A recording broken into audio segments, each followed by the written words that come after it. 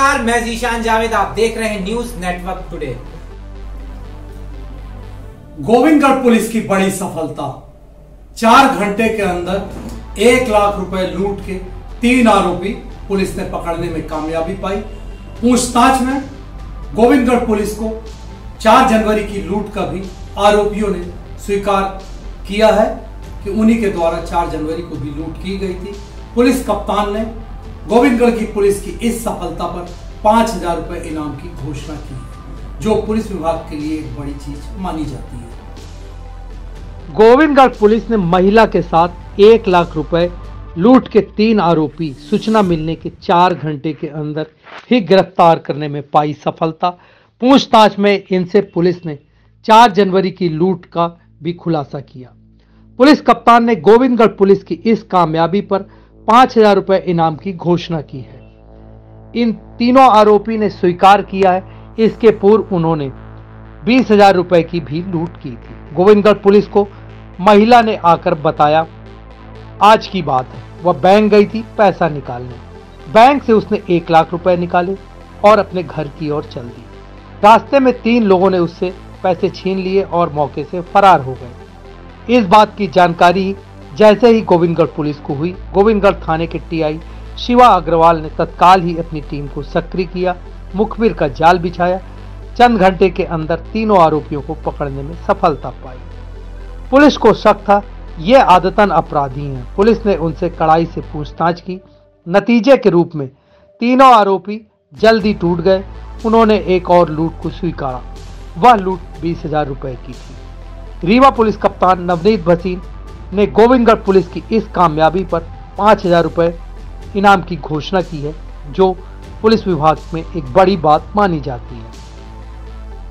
हम आपको बता दें, दरअसल मामला क्या था? रामबाई साकेत, पति फूलचंद साकेत, उम्र 26 साल। छप्पन साल, वार्ड आठ, गोविंदगढ़ की निवासी हैं। इलाहाबाद स्टेट बैंक से एक लाख रुपए निकालकर अपने घर की ओर जा रही थी। तभी पीछे से नीले कलर की स्प्लेंडर मोटरसाइकिल से तीन लोग आए और उनका बैग छीनकर भाग गए। पुलिस ने तत्काल ही मुखबिर को सक्रिय किया। पुलिस की गिरफ्त में लकी उर्फ़ टिंकू सिंह, पिता पुष्पेन सिंह, उम्र 27 साल, जमुना टोला, ललितपुर थाना। रोहित चतुर्वेदी, पिता रमाकांत चतुर्वेदी, उम्र 28 साल, अजमैन थाना, ताला। मोहित कोल पिता शंकर कोल, उम्र 21 साल, कुलार बस्ती, थाना ताला। तीनों आरोपी, जो कि थाना ताला के अंतर्गत रहने वाले थे, पकड़ने में कामयाबी पाई। पुलिस ने इनसे पूछताछ करने पर, इनकी निशानदेही पर एक लाख रुपए बरामद किए हैं और इनके पास से लूट में इस्तेमाल होने वाली नीले कलर की मोटरसाइकिल भी बरामद की है, जिसकी पुलिस कीमत पचास हज़ार रुपये मानकर चल रही है। पूछताछ में इन्होंने 4 जनवरी की लूट का भी खुलासा किया है।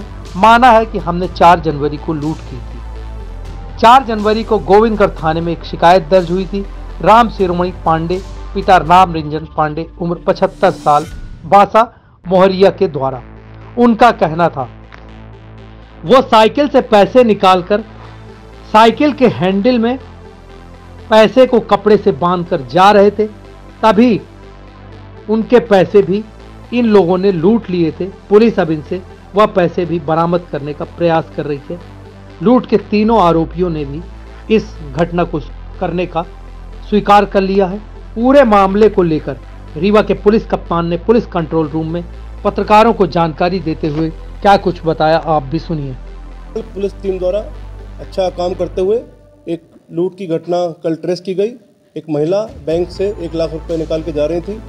उनके साथ एक घटना अंजाम जब दी आरोपियों ने, उसके पश्चात सूचना मिली जैसे थाना प्रहरी को, उन्होंने अपनी पूरी टीम को लगाया और पुलिस का सहयोग करने वाले व्यक्तियों को भी एक्टिव किया।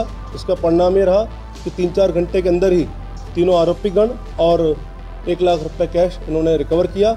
उन आरोपियों से पूछताछ की गई तो उन्होंने दिनांक चार जनवरी को भी एक बीस हज़ार की लूट स्वीकार किया।